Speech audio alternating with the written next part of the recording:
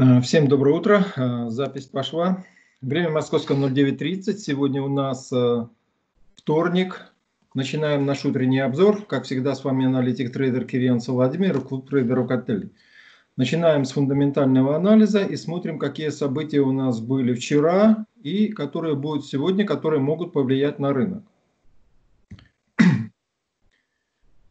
Также после самого обзора вы можете какие-то задать вопросы, и кому понравился обзор, поставьте лайки. Итак, посмотрим, что же мы видим. Мы видим, вчера был выходной по Европе полностью, то есть стран европейской сессии практически не было, американской тоже. Ну, рынок себя вел неоднозначно, по-разному были резкие движения, вверх, вниз, в общем, стояла цена в каком-то коридоре, но обычно так всегда и бывает. Во вторник, что важно, для Новой Зеландии это число прибывших туристов.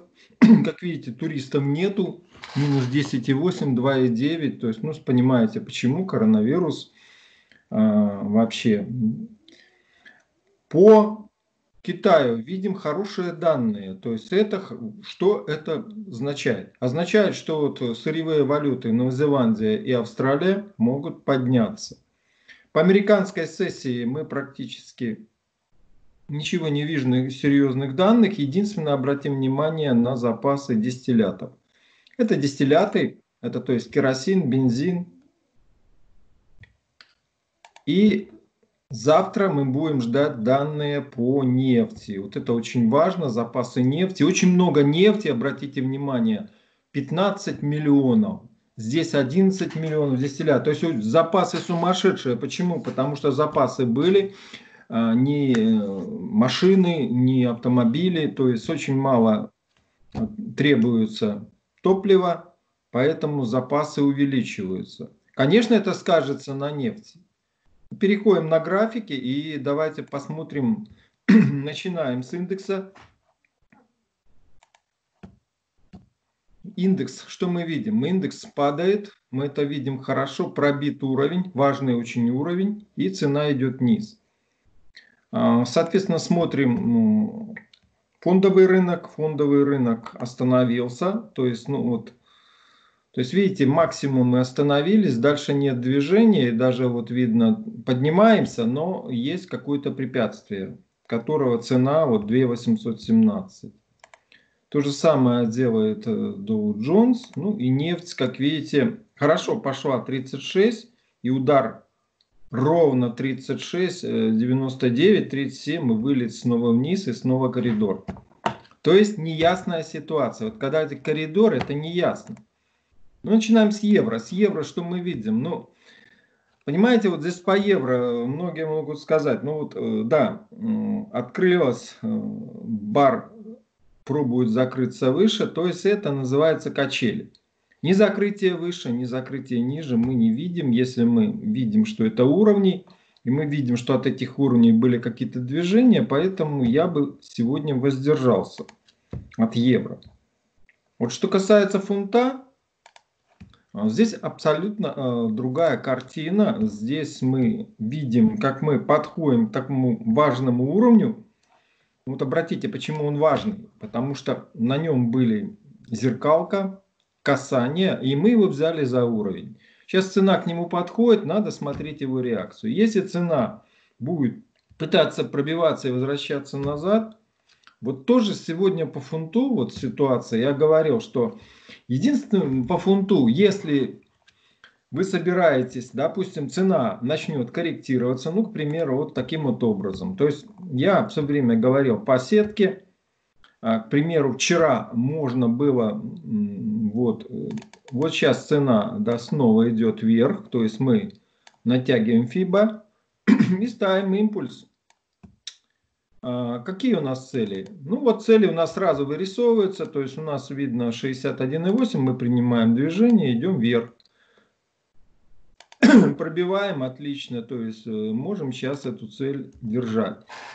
Таким вот образом мы берем вот это вот движение. Это небольшое движение, хочу сказать, но в принципе оно позволяет нам там зайти в сделку, взять движение по основному тренду. Как видите, тренд идет вверх, поэтому все коррекции, которые идут, мы, в принципе, всегда покупаем. Никогда не покупаем, если цена находится. Это нехорошая ситуация. Нам нужно, чтобы цена всегда скорректировалась после этого покупка. Вот по фунту можно рассматривать покупки, вот видно хорошо. Пока мы не будем, начнем тестировать здесь уровни, мы поймем на старшем таймфрейме, что же произойдет. Что может быть? Может быть удар, может быть остановка цены, может быть пробитие, закрепление и цена пойдет дальше. Время покажет. Значит, по фунту мы определили, что мы на коррекции заходим в покупки. Идем дальше. А, как я говорил, что по Китаю вышли хорошие данные. А, что это говорит мне? говорит о том, что мы можем, в принципе, по Австралии рассматривать покупки. Попытка закрыться выше. А, первый бар закрылся ниже, то есть, вот видите, фактически с хвостом. Второй бар пытается закрыться выше. Можно ли сейчас покупать? В принципе, хочу сказать, если цена начнет корректироваться, вот мы говорили о том, что цена открутится 61,8, а, этого не произошло. И, соответственно, мы тянем дальше фибу на новый импульс. А где же у нас новый импульс? новый импульс, вот он начинается. То есть мы сейчас видим, что цена а, поднимается выше. И, в принципе, вот откат в эту сторону даст нам хорошее движение. Но обратите внимание, что вы видите? Вы видите уровень. Здесь очень важный момент. Конечно, здесь будет ложный пробой, закрепление выше, это еще нам подтвердит э, то, что вот когда вы видите уровень, все-таки не старайтесь сразу входить, старайтесь э, смотреть реакцию этого уровня, то есть как цена будет реагировать. Если она закрепится на старшем таймфрейме, ну, тогда уже мы можем э, входить. Но в принципе мы видим, что мы здесь больше рассматриваются покупки, чем продажи, поэтому предпочтение для покупок. Новозеландская валюта. Вторая сырьевая пара. И, в принципе, мы э, сейчас э, определимся все-таки, что она делает. Мы видим, что есть попытка, остановка цены и попытка пробить цену. Удастся пробить, закрепиться выше. Вот здесь вот надо подумать, при закреп... втором баре закрепления покупать. Продавать тоже горит желание. Сейчас могут посмотреть, как красиво. Не стоит пока спешить продавать. А, надо закрепиться ниже, четко понять, что мы закрепимся. Допустим, это ложный пробой, и дальше, в принципе, это усилит нашу проторговку, и тогда можно пытаться уже идти вниз. Но вот при этой ситуации, при, э, как я говорил, данные по Китаю, а это две сырьевые пары, то есть потребуется все-таки это сырьевые страны, которые снабжают Китай. И поэтому здесь и минеральные удобрения у них много, э, много очень сырья, они берут, Китай берет у этих стран. И поэтому здесь вот очень важно, что вот здесь произойдет. Поэтому по Австралии мы будем на коррекции брать движение, а здесь пока подождем. Продавать мы здесь не будем. Золото. Ну, хочу сказать по золоту, оно летит вверх и очень хорошо. То есть Почему э, интересно золото? Потому что сейчас оно летит вверх, все начинают покупать, и очень хорошие покупки, мы об этом говорили, отсюда была покупка. Сейчас цена закрепляется выше, закрылась выше, закрепилась сегодня, завтра идем в покупку. Доллар швейцарский франк. Что по первому этапу можно сказать? Мы упали на поддержку, можно сразу ли покупать. В принципе, есть попытки ударов, то есть вот сейчас э, цена открылась выше, здесь ниже. Э, здесь вот до этого момента я говорил, что здесь, э, в принципе, хорошая поддержка. Вот когда хорошая поддержка, надо внимательно смотреть, что же делать дальше. Вот здесь мы искали продажи вот по этому движению. Но сейчас мы практически подошли к уровню. Вот тут вот возникает вопрос. А что же делать? Здесь вот мы сейчас стоим фактически вот э, в зоне. И вот здесь вот э, Если действительно цена начнет нырять вниз и возвращаться вот в эту сторону, можно пробовать, в принципе, покупать. Ну, что может быть? Может быть возврат, и цена здесь закрепляется, и тогда уже продажа. Но что хочу сказать, надо смотреть на старший таймфрейм. Это ситуация покупок однозначно, потому что отсюда у нас на истории мы делали покупки, и мы в этой ситуации сейчас стоим. Но нет у нас ложного пробоя. Ждем ложный пробой, возврат сюда на этом, и в принципе можем э, рассмотреть вот по такой ситуации. Доллар э, иена. Вот здесь вот интересная ситуация. Здесь сразу видно, вы видите, на, тут вам не надо рассказывать, кто смотрит мои обзоры, кто торгует по уровням. Здесь понятно, что было закрытие ниже и закрылись ниже, но ситуация для продаж не очень хорошая. Нужно откат. И в этой ситуации, когда вы видите такие вот движения, то есть наша задача, вы определились с движением. Дальше задача найти как зайти в сделку. То есть вот первый импульс, который мы видим, я понимаю, мы сейчас можем ждать вот этот импульс, можем ждать коррекцию в зону 61,8 и заходить в сделку. В принципе, такой вариант тоже можно рассматривать как дополнительный вариант. А стоп ставить за уровень. Я понимаю, конечно. Но вы понимаете, что да, действительно, если цена сбивает наш стоп, возможно, вторым вторым входом, если цена действительно покажет, что она не берет на старшем таймфрейме этот уровень, мы, конечно, зайдем и отобьем этот стоп. Все очень просто. USD CAD. Одна из пар, которая связана с нефтью. Мы говорили о том, что USD CAD падает, но он не сделал ложный пробой.